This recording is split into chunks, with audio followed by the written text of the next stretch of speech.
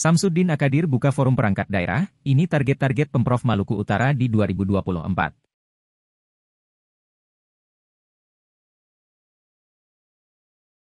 Sekprov Maluku Utara, Samsudin Akadir resmi membuka. Forum Perangkat Daerah dalam rangka penyusunan rencana kerja perangkat daerah Maluku Utara 2024. Yang berlangsung di Disaid Bella Hotel Ternate, Maluku Utara, Rabu, 26 April 2023, pagi. Amatan Tribun Ternate.com, acara ini dihadiri pimpinan SKPD Lingkup Pemprov Maluku Utara.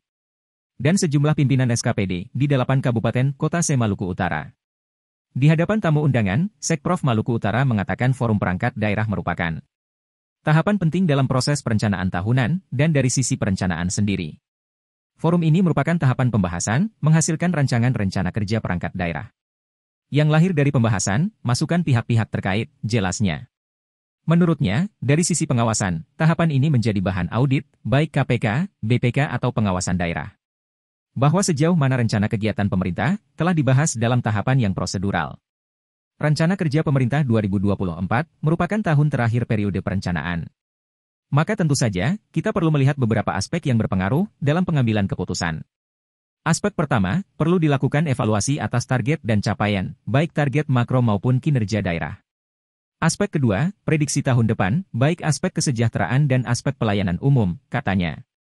Lanjutnya, dari segi makro pembangunan, terdapat enam indikator makro yang digunakan.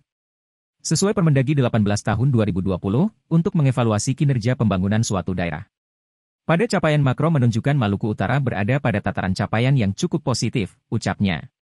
Selain itu, pembangunan manusia mengalami kenaikan. Pertumbuhan ekonomi juga mengalami kenaikan.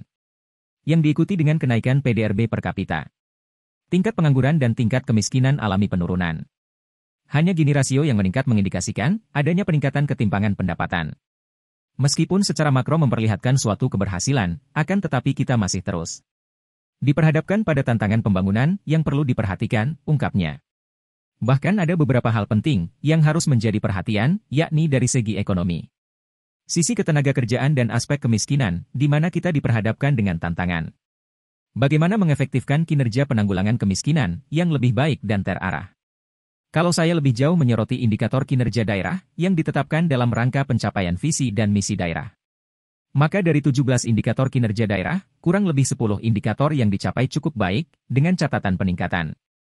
Terdapat tiga indikator yang memerlukan kerja keras, dan yang paling berpengaruh dari itu adalah bagaimana meningkatkan sektor-sektor basic potensial, pertanian, perikanan kelautan yang merupakan sektor andalan. Serta bagaimana meningkatkan pendapatan ekonomi masyarakat Maluku Utara, tambahnya.